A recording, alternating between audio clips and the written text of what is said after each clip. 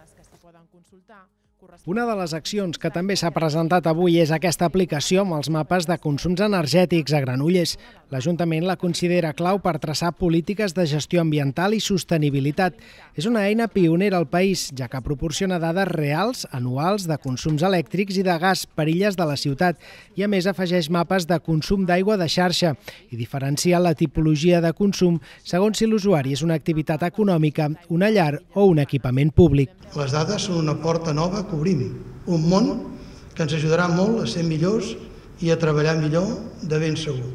Avui parlem d'energia i aigua, però ja estem treballant en molts aspectes de la mobilitat, d'altres aspectes que es poden incorporar de l'urbanisme, d'indicadors que es podran incorporar en aquest aplicatiu i que anirem ampliant eh, en, els propers, en els propers temps. Es calcula que les ciutats consumeixen el 78% de l'energia mundial i generen més del 60% de les emissions de gasos d'efecte hivernacle.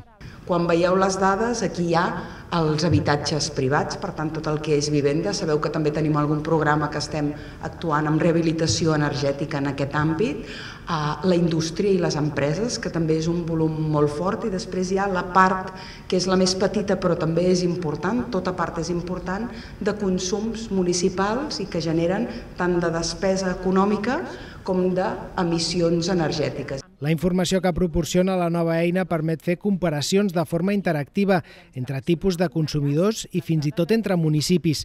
La idea és la de sensibilitzar la ciutadania i el teixit empresarial sobre la situació energètica de Granollers.